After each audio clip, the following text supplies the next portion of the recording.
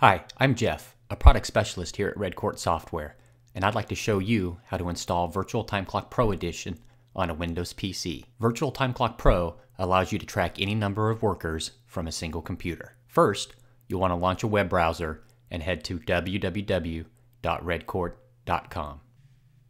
Now click on Download and choose Virtual Time Clock Pro. Go ahead and click the Download button. When asked if you'd like to run or save the file, go ahead and choose Run.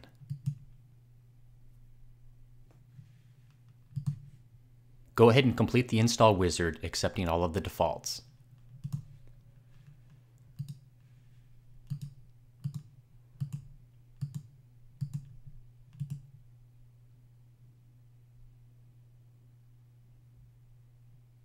The welcome window will open automatically. You can create a new company file and start using the time clock right away, or open the sample company. After exploring the sample company, you can return to the welcome window by quitting and relaunching the program. We're going to create a new company.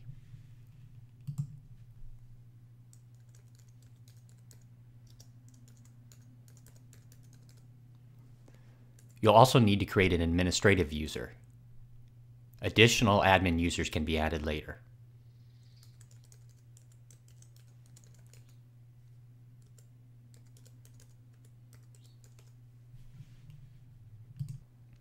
You can either import your users from QuickBooks or a CSV file or add users manually. We're going to add a user manually. All you need is the employee first and last name for them to start using the time clock.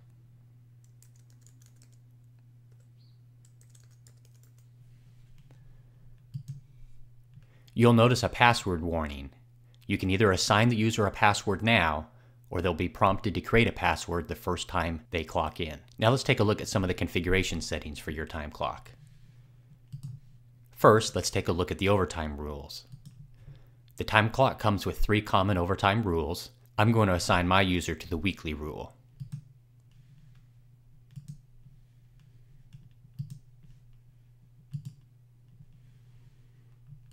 If you need to track time spent on different tasks, jobs, or projects when clocking in, you can choose activities and set those up. I don't need to do that, so I'm going to leave the default activity of in.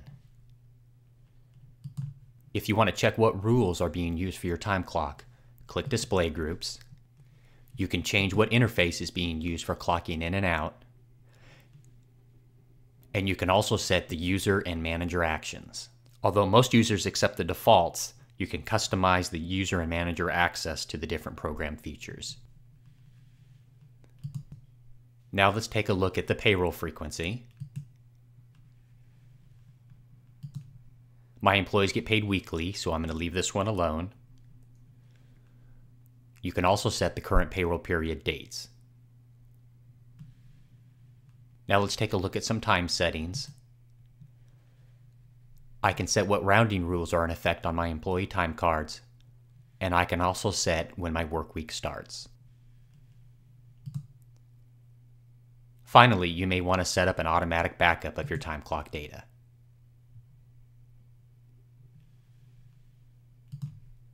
Congratulations, Virtual Time Clock Pro is now set up and ready to use.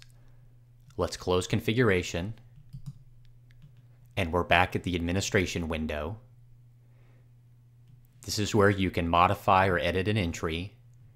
You can add a manual entry, for example, if somebody forgets to clock in. You can add paid time off. You can view time cards for all of your employees. You can export the time clock data, which can be opened in a common spreadsheet software like Excel. You can export employee hours to a popular payroll program. You can close the payroll period. You can view your mailbox. And you can make a manual backup of your time clock data. I'll want to close the administration window before employees start clocking in and out.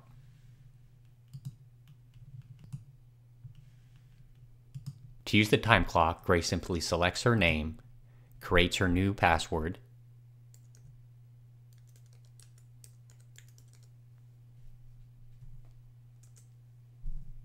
and clicks an action button like starting her day. The in-out board is instantly updated with her current status. If you'd like more information about using Virtual Time Clock, please visit us online at www.redcort.com.